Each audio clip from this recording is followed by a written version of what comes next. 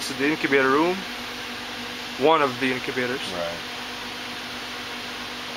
Some fun stuff in there. Sunfire het albino to male snow. Here's our POS double het snow to the snow, so we have some cool stuff coming there. Some uh, tiger double het albino titanium, so we might get some potentially all the way up to an albino plutonium on that. Some fun stuff. Tiger double het. Yeah, Sun tiger double het. Sunfire tiger double het albino titanium, so we could get Sunfire albino plutonium. And then down down there, that one's kind of cool. Ooh. Albino tiger to a Sunfire golden child, Het albino. I believe that's the only one of its kind, that male.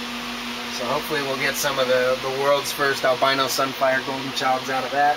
And there's also Platinum titaniums there. Yeah, this is another ivory to ivory retic breeding, so we should get ultra ivories, ivories, and some more leucistics. So there's a lot of good stuff cooking in there. A Sunfire genetic stripe, POS het albino to a Sunfire double het albino genetic stripe. Oh no, that's not right. A double het genetic stripe. sun stripe. Yeah, It's sort of it's either a Sunfire genetic stripe or a Sunfire het Right. to a double het. So get some albino, hopefully some Sunfire albino genetic stripes in there. Cool. Pretty cool stuff. I'm